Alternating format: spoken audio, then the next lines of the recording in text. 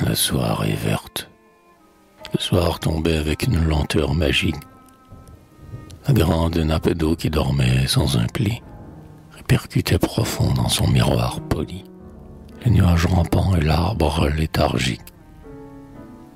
Le seul glissotement des sources de la rive, pleurant dans le silence un goûteux soupir, berçait l'air engourdi que le muet zéphyr coupait, tiers des frôlants, d'une haleine furtive. Tous brumeusement clairs, trembleusement inertes, les rocs et les buissons, les taillis du couteau, les murs du vieux moulin, le tour du vieux château, vivaient dans ce bain noir traversé d'ombres vertes. La douceur descendait de la nuit en extase sur ces vallonnements qui devenaient blafards, la mort du soleil rosait les nénuphars entre les joncs porprés qui saignaient sur la vase.